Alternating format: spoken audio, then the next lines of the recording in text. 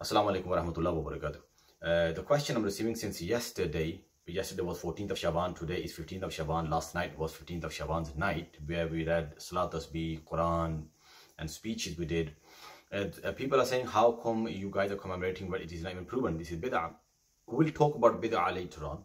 Uh, first tell me, if you are stopping people coming in a masjid, what good are you doing to people? That's the first question. People coming in a masjid are doing anything wrong? Are they doing anything wrong? They're reading Quran, they're reading Tasbihat, Nawafil. Already people are going away from Masajid. And if this night they are making effort to come in Masjid, you are stopping them. What good are you doing to those people? What they will be doing at home anyway? What kids will be doing at home anyway? Hmm? Anyways, let's go towards some ahadith that Ah, from ahadith this night is proven. As Aisha Siddiqa radiallahu says that فَقَالَ رَسُولُ اللَّهِ صَلَى اللَّهُ عَلَيْهِ وَسَلَّمَ إِنَّ اللَّهَ تَعَالَى يَنْزِلُ لَيْلَةَ النِّصْفِ min شَعْبَانِ إِلَى السَّمَاءِ دُنْيَا That Allah subhanahu wa ta'ala descends towards the last sky which is more closer to this dunya. Allah subhanahu wa ta'ala descends means that Allah's mercy descends and what he does فَيَغْفِرُ لِي أَكْثَرَ مِنْ عَدَدِ شَعْرِ غَنَمِ الْقَلْبِ That he forgives more than the number of hairs on the sheep of Banu Kalb. Banu Kalb was the tribe in the time of Rasulullah who had most of uh, the sheep in great numbers. And Allah is saying, I'm not going to forgive more than Banu Kalb's sheep.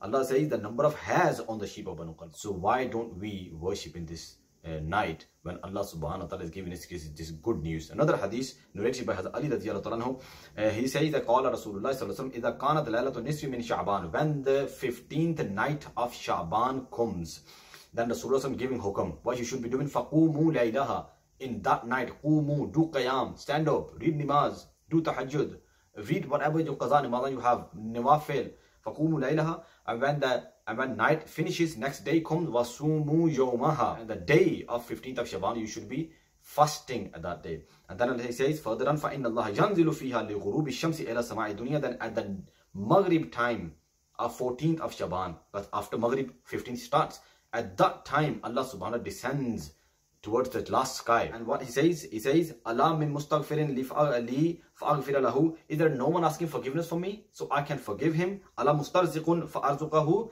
Is there no one asking for rizq, provision, so I can provide him? Allah mubtaran fa'u'afiyahu. Is there no one is afflicted with any disease, so I can give him cure? Subhanallah. Allah is keep asking. Allah kaza, Allah kaza. He just keep asking, keep asking, keep asking. Uh, until when? Hatta yatulu al fajr until the dawn, until the next Sahri.